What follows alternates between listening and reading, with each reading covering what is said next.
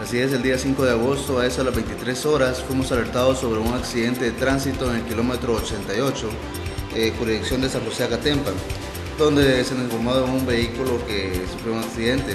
Al llegar a la unidad 959 de esta estación encontraron al señor Eric Amílcar Esquivel de 30 años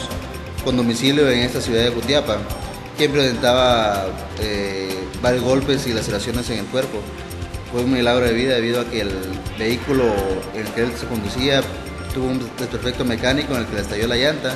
y él volcó aparatosamente. Gracias a Dios se logró estabilizar y trasladar al Hospital Nacional de Gutiapa para sus curaciones. Asimismo informamos que los números voluntarios tienen una, una norma en la cual usan las sirenas de emergencia solo en situaciones donde se crea considerado la pérdida de vida de alguna persona por lo cual hacemos el llamado general a las personas eh, que conducen vehículos, tanto automotores, eh, vehículos pesados o motocicletas, que a la hora de escuchar una, una, sirena y vean que es una unidad de bomberos voluntarios puedan cederle la vía. No sabemos en qué momento puede ser un familiar, un amigo,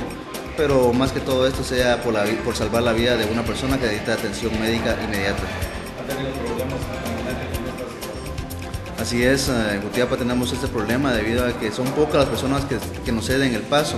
a la hora de ir con sirena abierta. Eh, recordemos que nuestras, ambulancias solo van con sirena cuando llevamos una persona que va entre la vida y la muerte, por ejemplo una persona herida de bala, un accidente de tránsito con múltiples, uh, con politraumatismo, o en caso que hubo ayer en, horas de la mañana, un parto complicado en el que estaba en peligro la vida del bebé como la madre. Entonces son situaciones de emergencia donde necesitan la atención inmediata de un médico.